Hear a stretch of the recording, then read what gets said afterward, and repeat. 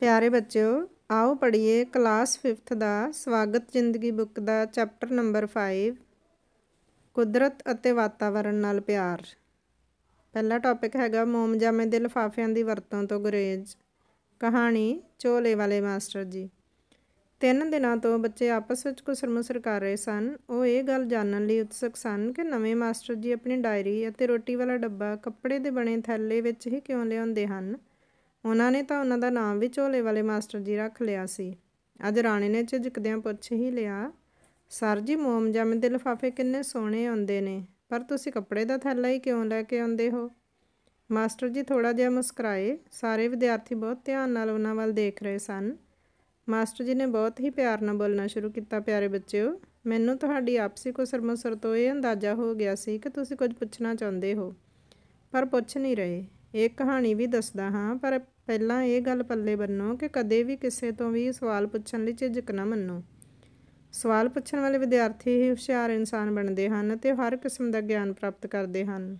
ਜੀ ਸਰ ਜੀ, ਸਾਰੇ ਬੱਚੇ ਰਲ ਕੇ ਉੱਚੀ ਆਵਾਜ਼ ਵਿੱਚ ਬੋਲਦੇ ਹਨ। ਸ਼ਾਬਾਸ਼, ਤੁਸੀਂ ਸਾਰੇ ਬਹੁਤ ਸਿਆਣੇ ਹੋ, ਭੋਲੇ ਭਾਲੇ ਵੀ।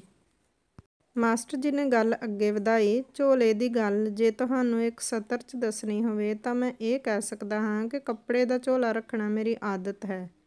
ਮੈਂ ਬਾਜ਼ਾਰ ਵਿੱਚੋਂ ਵੀ ਕੁਝ ਖਰੀਦ ਕੇ ਲਿਆਉਣਾ ਹੋਵੇ ਤਾਂ ਆਪਣਾ ਇਹ ਥੈਲਾ ਝੋਲੇ ਕੋਲੇ ਰੱਖਦਾ ਹਾਂ ਤੇ ਮੋਮਜਾਮੇ ਦੇ ਲਿਫਾਫੇ ਮੈਂ ਕਦੇ ਵੀ ਨਹੀਂ ਵਰਤੇ। ਕਿਉਂ ਸਰ ਜੀ? ਇਹਨਾਂ ਦਾ ਤਾਂ ਫਾਇਦਾ ਹੀ ਬਹੁਤ ਹੈ। ਵਰਤੋ ਤੇ ਸੁੱਟ ਦਿਓ। ਸੁੱਖੇ ਨੇ ਖੜੇ ਹੋ ਕੇ ਪੁੱਛਿਆ, ਬੱਚਿਓ, ਇਹ ਮੋਮਜਮ ਦੇ ਲਿਫਾਫੇ ਬਹੁਤ ਖਤਰਨਾਕ ਹੁੰਦੇ ਨੇ? ਰਾਣੀ ਕੌਰ ਨੇ ਪੁੱਛਿਆ, ਉਹ ਕਿਵੇਂ ਜੀ? ਇਹਨਾਂ ਲਿਫਾਫਿਆਂ ਦਾ ਇੱਕ ਨਹੀਂ, ਸਗੋਂ ਅਨੇਕ ਨੁਕਸਾਨ ਨੇ। ਮਾਸਟਰ ਜੀ ਨੇ ਦੱਸਣਾ ਸ਼ੁਰੂ ਕੀਤਾ, ਸਾਰੇ ਵਿਦਿਆਰਥੀ ਹੈਰਾਨੀ ਨਾਲ ਸੁਣਨ ਲੱਗੇ। ਮਾਸਟਰ ਜੀ ਨੇ ਗੱਲ ਅੱਗੇ ਵਧਾਈ, ਜਿਵੇਂ ਸੁੱਖਾ ਸਿੰਘ ਨੇ ਕਿਹਾ, ਵਰਤੋ ਤੇ ਸੁੱਟ ਦਿਓ। ਪਹਿਲਾਂ ਇਸੇ ਗੱਲ ਦਾ ਨੁਕਸਾਨ ਸੁਣੋ, ਇਹ ਹਵਾ ਨਾਲ ਉੱਡ ਕੇ ਨਾਲੀਆਂ 'ਚ ਫਸ ਜਾਂਦੇ ਨੇ। ਪਾਣੀ ਦਾ ਨਿਕਾਸ ਰੁਕ ਜਾਂਦਾ ਹੈ, ਪਾਣੀ ਫਿਰ ਗਲੀਆਂ 'ਚ ਖੜ ਜਾਂਦਾ ਤੇ ਮੱਖੀ ਮੱਛਰ ਪੈਦਾ ਹੁੰਦੇ ਹਨ, ਇਸ ਤਰ੍ਹਾਂ ਅਸੀਂ ਬਿਮਾਰ ਹੋ ਸਕਦੇ ਹਾਂ। ਤੁਹਾਡੀ ਗੱਲ ਸਹੀ ਹੈ ਸਰ ਜੀ, ਕਈ ਦਿਨ ਹੋ ਗਏ ਸਾਡੇ ਗਲੀ 'ਚ ਇਉਂ ਹੀ ਪਾਣੀ ਖੜਾ ਹੋ ਗਿਆ ਹੈ। ਨਾਲੀ 'ਚ ਆ ਮੋਮਜਾਮੇ ਦੇ ਲਿਫਾਫੇ ਫਸੇ ਹੋਏ ਹਨ ਹਰਗੁਣ ਨੇ ਦੱਸਿਆ। ਬਿਲਕੁਲ, ਹੋਰ ਸੁਣੋ, ਇਹਨਾਂ ਲਿਫਾਫਿਆਂ ਨੂੰ ਡੰਗਰ ਪਸ਼ੂ ਵੀ ਕੁਝ ਖਾਣ ਵਾਲੀਆਂ ਵਸਤੂਆਂ ਦੇ ਨਾਲ ਨਿਗਲ ਜਾਂਦੇ ਨੇ। ਅਸੀਂ ਕਈ ਵਾਰ ਸਬਜ਼ੀ ਦੇ ਛਿੱਲੜ ਜਾਂ ਬਈਆਂ ਰੋਟੀਆਂ ਇਹਨਾਂ ਲਿਫਾਫਿਆਂ 'ਚ ਪਾ ਕੇ ਸੁੱਟ ਦਿੰਦੇ ਹਾਂ। ਇਹਨਾਂ ਦੇ ਖਾਣ ਨਾਲ ਪਸ਼ੂਆਂ ਨੂੰ ਕੀ ਹੁੰਦਾ ਜੀ? ਗੁਰਲੀਨ ਨੇ ਖੜੇ ਹੋ ਕੇ ਪੁੱਛਿਆ, ਇਹ ਹਜਮ ਨਹੀਂ ਹੁੰਦੇ ਪੁੱਤ, ਕਿੰਨੇ ਪਸ਼ੂ ਇਹਨਾਂ ਦੇ ਖਾਣ ਨਾਲ ਹੀ ਮਰ ਗਏ ਨੇ? ਨਹਿਰਾਂ ਨਦੀਆਂ 'ਚ ਸੁੱਟਣ ਨਾਲ ਪਾਣੀ ਵਾਲੇ ਜੀਵ ਮਰ ਜਾਂਦੇ ਨੇ। ਅੱਛਾ ਜੀ, ਸਾਰੇ ਹੈਰਾਨ ਸਨ। ਸਰ ਜੀ, ਇਹਨਾਂ ਨੂੰ ਅੱਗ ਲਾ ਦੇਣੀ ਚਾਹੀਦੀ ਫਿਰ। ਪ੍ਰਦੀਪ ਨੇ ਸਲਾਹ ਦਿੱਤੀ। ਇੱਕ ਵਾਰ ਸਾਰਿਆਂ ਨੂੰ ਉਹਦੀ ਗੱਲ ਜੱਚ ਗਈ। ਪਰ ਬੱਚਿਓ, ਜਦੋਂ ਅਸੀਂ ਇਹਨੂੰ ਅੱਗ ਲਾਉਂਦੇ ਹਾਂ, ਇਹਨਾਂ 'ਚੋਂ ਬਹੁਤ ਜ਼ਿਆਦਾ ਖਤਰਨਾਕ ਗੈਸਾਂ ਨਿਕਲਦੀਆਂ ਨੇ, ਜੋ ਵਾਤਾਵਰਣ ਨੂੰ ਪ੍ਰਦੂਸ਼ਿਤ ਕਰਦੀਆਂ ਨੇ। ਫਿਰ ਤਾਂ ਜੀ ਇਹਨਾਂ ਨੂੰ ਮਿੱਟੀ 'ਚ ਦੱਬ ਦੇਣਾ ਚਾਹੀਦਾ। ਨਾ ਤਾਂ ਫਿਰ ਉੱਡ ਕੇ ਨਾਲੀਆਂ ਬੰਦ ਕਰਨ, ਨਾ ਹੀ ਡੰਗਰ ਖਾ ਕੇ ਮਰਨ ਤੇ ਨਾ ਹੀ ਮਾੜੀਆਂ ਗੈਸਾਂ ਨਿਕਲਣ, ਸੀਰਤ ਕੌਰ ਨੇ ਕਿਹਾ। ਤੇਰੀ ਗੱਲ ਠੀਕ ਹੈ ਸੀਰਤ, ਪਰ ਹੁਣ ਦੱਬਣ ਵਾਲੀ ਗੱਲ ਵੀ ਸੁਣ ਲਓ। ਇਹ ਹਜ਼ਾਰਾਂ ਸਾਲ ਗਲਦੇ ਨਹੀਂ, ਮਿੱਟੀ 'ਚ ਉਵੇਂ ਹੀ ਪਏ ਰਹਿੰਦੇ ਨੇ। ਇਸ ਤਰ੍ਹਾਂ ਤਾਂ ਮਿੱਟੀ ਦਾ ਉਪਜਾਊਪਣ ਘਟ ਜੂ, ਸਾਡੀਆਂ ਫਸਲਾਂ ਹੁਣ ਹਟ ਜਾਣਗੀਆਂ। ਆ ਜਿਹੜੇ ਫੁੱਲ ਬੂਟੇ ਨੇ, ਇਹ ਨਹੀਂ ਹੋਣੇ। ਓਹੋ, ਫਿਰ ਤਾਂ ਜੀ ਤੁਸੀਂ ਸਹੀ ਹੋ।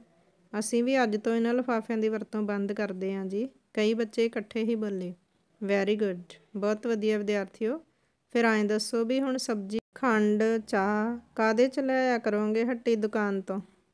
ਕੱਪੜੇ ਦੇ ਬਣੇ ਝੋਲਿਆਂ 'ਚ ਜੀ, ਸਾਰੇ ਰਲ ਕੇ ਬੋਲੇ। ਸੋ ਵਿਦਿਆਰਥੀਓ, ਹੁਣ ਤੁਸੀਂ ਸਮਝ ਗਏ ਕਿ ਮੋਮਜਾਮੇ ਦੇ ਲਿਫਾਫੇ ਤੇ ਪਲਾਸਟਿਕ ਦਾ ਸਮਾਨ ਜਿਸ ਵਿੱਚ ਖਾਣ ਪੀਣ ਵਾਲੀਆਂ ਕੱਪ, ਪਲੇਟਾਂ, ਪਾਣੀ ਦੀਆਂ ਬੋਤਲਾਂ ਵੀ ਸ਼ਾਮਲ ਨੇ। ਸਾਡੇ ਕੁਦਰਤੀ ਸਰੋਤਾਂ ਨੂੰ ਪ੍ਰਦੂਸ਼ਿਤ ਕਰਦੇ ਨੇ। ਹਾਂਜੀ, ਜਿਵੇਂ ਹਵਾ, ਮਿੱਟੀ, ਧੁੱਪ ਸਾਡੇ ਲਈ ਕੁਦਰਤੀ ਸਰੋਤ ਨੇ, ਇਹਨਾਂ ਨੂੰ ਖਰਾਬ ਕਰਦੇ ਨੇ। ਗਿਆਨਦੀਪ ਨੇ ਦੱਸਿਆ, ਬਿਲਕੁਲ ਸਹੀ ਆ ਜੀ ਤੁਹਾਡੀ ਗੱਲ। ਹੁਣ ਤੁਸੀਂ ਪਲਾਸਟਿਕ ਦੀਆਂ ਖਤਰਨਾਕ ਚੀਜ਼ਾਂ ਆਪ ਨਹੀਂ ਵਰਤੋਗੇ ਤੇ ਆਪਣੇ ਮਾਤਾ-ਪਿਤਾ ਤੇ ਆਂਢ ਗੁਆਂਢ ਨੂੰ ਵਰਤੋਂ ਨਾ ਕਰਨ ਲਈ ਪ੍ਰੇਰਿਤ ਕਰੋਗੇ। ਹਾਂਜੀ, ਸਾਰੇ ਬੱਚਿਆਂ ਨੇ ਉੱਚੀ ਆਵਾਜ਼ 'ਚ ਕਿਹਾ, ਸਰ ਜੀ, ਤੁਹਾਡੀਆਂ ਗੱਲਾਂ ਨੂੰ ਸੁਣ ਕੇ ਇੱਕ ਬੋਲੀ ਜੋੜੀ ਆ ਜੀ। ਹੁਣੇ ਬੈਠੇ ਬੈਠੇ ਨੇ ਸੁਣਾਵਾਂ ਜੀ। ਰਾਣੇ ਨੇ ਨਿਮਰਤਾ ਨਾਲ ਪੁੱਛਿਆ ਸੁਣਾਓ ਬੇਟੇ। ਸਾਫੇ ਸਾਫੇ ਸਾਫੇ, ਮਿੱਤਰੋ, ਅਸੀਂ ਨਹੀਂ ਵਰਤਨੇ ਮੋਮ ਜਾਮੇ ਦੇ ਲਿਫਾਫੇ।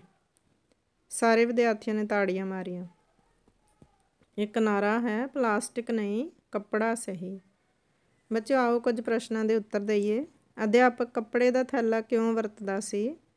ਬੱਚਿਓ ਇਹਦਾ ਉੱਤਰ ਆਏਗਾ ਕਿਉਂਕਿ ਅਧਿਆਪਕ ਨੂੰ ਪਤਾ ਸੀ ਕਿ ਪਲਾਸਟਿਕ ਦੇ ਲਿਫਾਫੇ ਵਰਤਣ ਦੇ ਕੀ ਕੀ ਨੁਕਸਾਨ ਹਨ। ਦੂਸਰਾ ਪ੍ਰਸ਼ਨ ਹੈਗਾ ਮੋਮਜਾਮੇ ਦੇ ਲਿਫਾਫਿਆਂ ਦੇ ਕੀ ਨੁਕਸਾਨ ਹਨ? ਤੇ ਬੱਚਿਓ, ਅਸੀਂ ਪਿੱਛੇ ਪੜਿਆ ਕਿ ਮੋਮਜਾਮੇ ਦੇ ਲਿਫਾਫੇ ਸਾਡੇ ਜਿਹੜੇ ਕੁਦਰਤੀ ਸਰੋਤ ਹੈ, ਹਵਾ, ਧਰਤੀ ਤੇ ਪਾਣੀ, ਇਹਨਾਂ ਨੂੰ ਨੁਕਸਾਨ ਪਹੁੰਚਾਉਂਦੇ ਹਨ। ਕੀ ਸਬਜ਼ੀ ਦੇ ਛਿੱਲੜ, ਬਈਆਂ, ਰੋਟੀਆਂ, ਗੁੰਨਿਆ, ਆਟਾ ਲਿਫਾਫਿਆਂ 'ਚ ਪਾ ਕੇ ਸੁੱਟ ਦੇਣਾ ਚਾਹੀਦਾ ਹੈ? ਤੇ ਬੱਚਿਓ, ਇਹਦਾ ਉੱਤਰ ਆਏਗਾ, ਨਹੀਂ। ਕਿਉਂਕਿ ਕੁਝ ਪਸ਼ੂ ਇਹਨਾਂ ਲਿਫਾਫਿਆਂ ਦੇ ਵਿੱਚ ਪਈਆਂ ਹੋਈਆਂ ਚੀਜ਼ਾਂ ਨੂੰ ਖਾਣ ਨੂੰ ਜਦੋਂ ਖਾਂਦੇ ਹਨ, ਤੇ ਉਹ ਲਿਫਾਫੇ ਉਹਨਾਂ ਦੇ ਅੰਦਰ ਚਲੇ ਜਾਂਦੇ ਹਨ ਤੇ ਉਹਨਾਂ ਦੀ ਮੌਤ ਵੀ ਹੋ ਜਾਂਦੀ ਹੈ। ਚੌਥਾ ਕੁਐਸਚਨ ਹੈਗਾ ਕਿ ਸਾਨੂੰ ਪਲਾਸਟਿਕ ਦਾ ਸਮਾਨ ਕਿਉਂ ਨਹੀਂ ਲੈਣਾ ਚਾਹੀਦਾ? ਤੇ ਬੱਚਿਓ, ਅਸੀਂ ਪਲਾਸਟਿਕ ਦੇ ਨੁਕਸਾਨ ਪਿੱਛੇ ਪੜ ਚੁੱਕੇ ਹਾਂ। ਪੰਜਵਾਂ ਪ੍ਰਸ਼ਨ ਹੈਗਾ, ਇਸ ਕਹਾਣੀ ਵਿਚਲੇ ਅਧਿਆਪਕ ਦੀਆਂ ਕਿਹੜੀਆਂ ਗੱਲਾਂ ਚੰਗੀਆਂ ਲੱਗੀਆਂ? ਪਲਾਸਟਿਕ ਨੂੰ ਨਾ ਵਰਤਣ ਬਾਰੇ ਜਿਹੜੀ ਉਹਨਾਂ ਨੇ ਗੱਲ ਸਮਝਾਈ, ਉਹ ਸਾਨੂੰ ਚੰਗੀ ਲੱਗੀ। ਛੇਵਾਂ ਪ੍ਰਸ਼ਨ ਹੈਗਾ, ਮੋਮ ਮੋਮਜਾਮ ਦੇ ਲਿਫਾਫਿਆਂ ਤੋਂ ਕਿਵੇਂ ਬਚਿਆ ਜਾ ਸਕਦਾ ਹੈ? ਜੇਕਰ ਅਸੀਂ ਪਲਾ, ਕੱਪੜੇ ਦੀਆਂ ਥੈਲੀਆਂ ਨੂੰ ਪਲਾਸਟਿਕ ਦੀ ਜਗ੍ਹਾ ਵਰਤੀਏ, ਤਾਂ ਫਿਰ ਅਸੀਂ ਮੋਮ ਜਾਮੇ ਦੇ ਲਿਫਾਫਿਆਂ ਤੋਂ ਬਚ ਸਕਦੇ ਹਾਂ। ਪ੍ਰਸ਼ਨ ਹੈਗਾ, ਮੋਮ ਜਾਮੇ ਦੇ ਲਿਫਾਫਿਆਂ ਨਾਲ ਮਿੱਟੀ ਦੀ ਉਪਜਾਊ ਸ਼ਕਤੀ ਵੱਧਦੀ ਹੈ ਜਾਂ ਘਟਦੀ ਹੈ? ਤੇ ਇਹਦਾ ਉੱਤਰ ਆਏਗਾ, ਘਟਦੀ ਹੈ। ਪਲਾਸਟਿਕ ਦੀ ਵਰਤੋਂ ਨਾਲ ਸਾਡੀ ਸਿਹਤ ਠੀਕ ਰਹਿੰਦੀ ਹੈ ਜਾਂ ਅਸੀਂ ਬਿਮਾਰ ਹੋ ਜਾਂਦੇ ਹਾਂ? ਤੇ ਇਹਦਾ ਉੱਤਰ ਆਏਗਾ, ਬਿਮਾਰ ਹੋ ਜਾਂਦੇ ਹਾਂ। ਨਾਲੀਆਂ, ਖਾਲ ਤੇ ਸੀਵਰੇਜ ਦੇ ਪਾਣੀ ਦਾ ਨਿਕਾਸ ਮੋਮਜਾਮੇ ਦੇ ਲਿਫਾਫਿਆਂ ਨਾਲ ਠੀਕ ਰਹਿੰਦਾ ਹੈ ਜਾਂ ਨਹੀਂ? ਤੇ ਇਹਦਾ ਉੱਤਰ ਆਏਗਾ, ਨਹੀਂ। ਉਕਤ ਕਹਾਣੀ ਤੋਂ ਅਸੀਂ ਕੀ ਸਮਝਿਆ ਹੈ? ਬੱਚਿਓ, ਇਸ ਕਹਾਣੀ ਦੇ ਵਿੱਚ ਸਾਨੂੰ ਪਤਾ ਲੱਗਿਆ ਕਿ ਸਾਨੂੰ ਜਿਹੜੇ ਆ ਪਲਾਸਟਿਕ ਦੇ ਲਿਫਾਫੇ ਜਾਂ ਪਲਾਸਟਿਕ ਦੀਆਂ ਚੀਜ਼ਾਂ ਨਹੀਂ ਵਰਤਣੀਆਂ ਚਾਹੀਦੀਆਂ, ਕਿਉਂਕਿ ਇਹ ਸਾਡੇ ਕੁਦਰਤੀ ਸਾਧਨਾ, ਹਵਾ, ਪਾਣੀ ਅਤੇ ਧਰਤੀ ਨੂੰ ਖਰਾਬ ਕਰ ਰਹੇ ਹਨ। ਇਸ ਕਰਕੇ ਜੇਕਰ ਅਸੀਂ ਇਹਨਾਂ ਕੁਦਰਤੀ ਸਰੋਤਾਂ ਨੂੰ ਬਚਾਉਣਾ ਚਾਹੁੰਦੇ ਹਾਂ ਤਾਂ ਸਾਨੂੰ ਪਲਾਸਟਿਕ ਦੀ ਵਰਤੋਂ ਨਾ ਕਰਨ ਦਾ ਪ੍ਰਣ ਕਰਨਾ ਚਾਹੀਦਾ ਹੈ। ਹੁਣ ਤੁਸੀਂ ਇੱਕ ਕੰਮ ਕਰਨਾ ਕਿ ਆਪਣੇ ਘਰੇ ਅਤੇ ਮਾਪਿਆਂ ਅਤੇ ਆਂਢ ਗਵਾਂਢ ਨੂੰ ਪਲਾਸਟਿਕ ਦੇ ਲਿਫਾਫਿਆਂ ਦੇ ਨੁਕਸਾਨ ਬਾਰੇ ਦੱਸਣਾ ਅਤੇ ਉਹਨਾਂ ਨੂੰ ਪ੍ਰੇਰਿਤ ਕਰਨਾ ਆ ਕਿ ਘੱਟ ਤੋਂ ਘੱਟ ਪਲਾਸਟਿਕ ਦੇ ਲਿਫਾਫਿਆਂ ਦੀ ਵਰਤੋਂ ਕੀਤੀ ਜਾਵੇ ਅਤੇ ਬਾਹਰੋਂ ਸਮਾਨ ਲਿਆਉਣ ਵਾਸਤੇ ਹਮੇਸ਼ਾ ਕੱਪੜੇ ਦੇ ਥੈਲੇ ਨੂੰ ਹੀ ਵਰਤਿਆ ਜਾਵੇ। ਇਸ ਤਰ੍ਹਾਂ ਅਸੀਂ ਮੋਮਜਾਮੇ ਦੇ ਲਿਫਾਫਿਆਂ ਨੂੰ ਨਾ ਵਰਤ ਕੇ ਕੁਦਰਤੀ ਸਰੋਤਾਂ ਨੂੰ ਬਚਾ ਸਕਦੇ ਹਾਂ। ਧੰਨਵਾਦ।